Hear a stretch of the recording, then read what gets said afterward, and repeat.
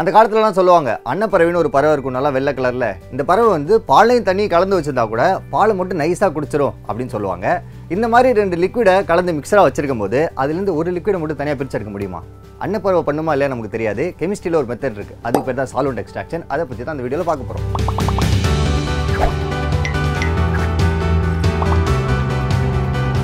நம்ம இந்த சால்வெண்ட் எக்ஸ்ட்ராக்ஷனா என்ன அப்படின்னு புரிஞ்சுக்கிறதுக்கு ஒரு மிக்சர் எடுத்துக்கலாம். மிக்சரில் எப்போவுமே சொல்யூட் அப்படின்னு ஒன்று இருக்கும் சால்வெண்ட் அப்படின்னு ஒன்று இருக்கும். சொல்யூட்னா என்னென்னா கரையக்கூடியது. சால்வெண்ட்னா கரைக்கக்கூடியது. இது இன்னும் கொஞ்சம் நீங்கள் ஈஸியாக புரிஞ்சுக்கிறதுக்கு பாலில் சர்க்கரையை கலக்கிறோம்னு வச்சுக்கோங்களேன்.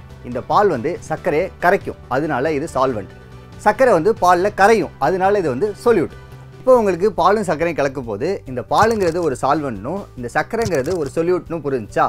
இந்த மாதிரி தான். எந்த ஒரு மிக்சர் எடுத்துட்டாலும் அதில் சால்வெண்ட்னு ஒன்று இருக்கும் சொல்யூட்னு ஒன்று இருக்கும்.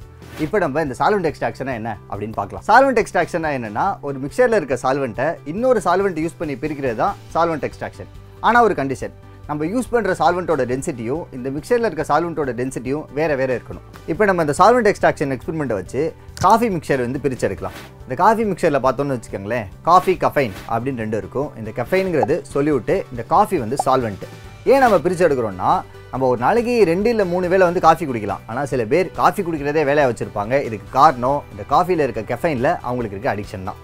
ஸோ இப்போ நம்ம என்ன பண்ண போகிறோம் இந்த காஃபிங்கிற பிக்சரில் டைக்ளோரோ மீத்தேன் அப்படிங்கிற சால்வெண்ட்டை ஊற்றி இந்த காஃபி சால்வெண்ட்டை பிரித்து எடுக்க போகிறோம் அதுக்கு நமக்கு தேவையான பொருட்கள் என்னென்னா இந்த அப்பேரட்டஸ் தான்.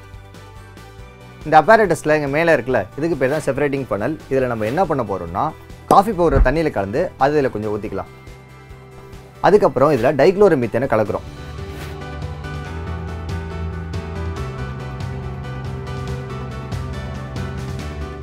இதை நல்லா குலுக்கிட்டு கொஞ்ச நேரம் அப்படியே வச்சுருந்தோம் அப்படின்னா இதில் ரெண்டு லேயர் ஃபார்ம் ஆகிருக்கிறத நம்ம பார்க்கலாம்.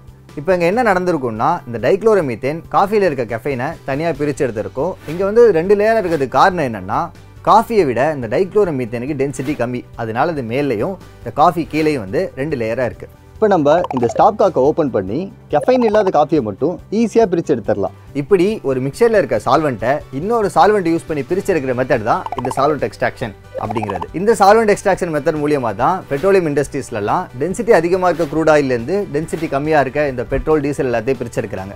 அது மட்டும் இல்லாமல் இந்த ஹெமடைட் மேக்னடைட் இந்த மாதிரி ஓர்லேருந்து அயனெல்லாம் பிரிச்சிருக்க கூட இந்த சால்வெண்ட் எக்ஸ்ட்ராக்ஷன் தான் யூஸ் ஆகுது. இப்போ உங்களுக்கு சால்வெண்ட் எக்ஸ்ட்ராக்ஷன்னா ஒரு மிக்சரில் இருக்க சால்வெண்ட்டை இன்னொரு சால்வெண்ட் யூஸ் பண்ணி பிரிக்கிற மெத்தட் தான் சால்வெண்ட் எக்ஸ்ட்ராக்ஷன் அப்படிங்கிறது புரிஞ்சிருக்கும். நன்றி.